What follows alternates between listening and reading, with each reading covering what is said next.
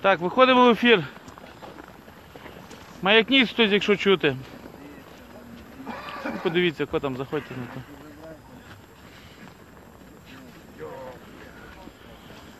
Добре, бачу, є зв'язок.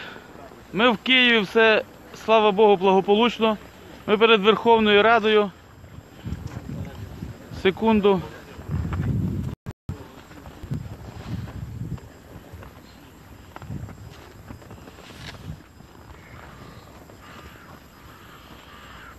Ми на місці у військовому таборі за 5 кроків від Верховної Ради. Правоохоронців багато ми тут не бачимо, їх нема взагалі.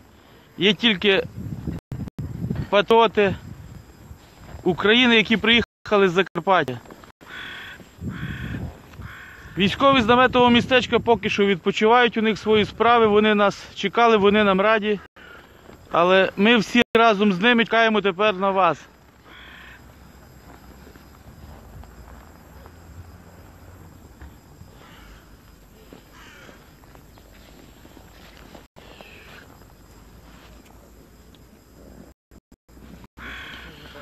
Добре, ще раз, ми на місці. У нас все по плану. Повторюся, все вдасться тільки в тому випадку, якщо крім лайків, підтримки в Фейсбукові, ви дійсно прийняли рішення і ви їдете сюди. Їдете з ближчих областей, їдете з міста Києва, особливо з міста Києва. Е, київ'яни, до вас, як завжди, на вас саме більша надія. Треба враховувати, яка сьогодні складна ситуація в державі, що людям потрібно годувати свої сім'ї. Вони на заробітках поза границях. Нас сьогодні небагато. Залишилося в Україні нас вже далеко не 42 мільйони.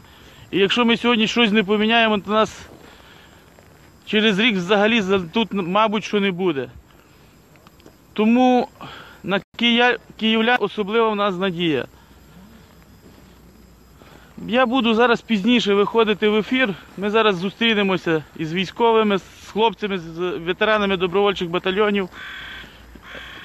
Поки що даю ще слово хоч братові. Це просто такий, знаєте, ми вийшли, якби перевірка зв'язку, повідомити вам, що ми на, на місці.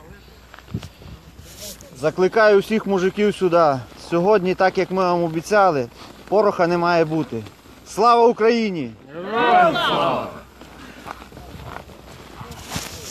Все, друзі, тепер практично все залежить в першу чергу від вас. Ми не відступимо, ми готові виконати те, для чого сюди прийшли. Повторюємо, ми починаємо мирну акцію, мирну. Все решта буде відбуватися тільки за погодженням із вами. Чекаємо на вас на 10 годину. 10, хтось запізнить, не важливо. Ми будемо починати в 10 годині. Все, дякую. Поки що закінчую зв'язок.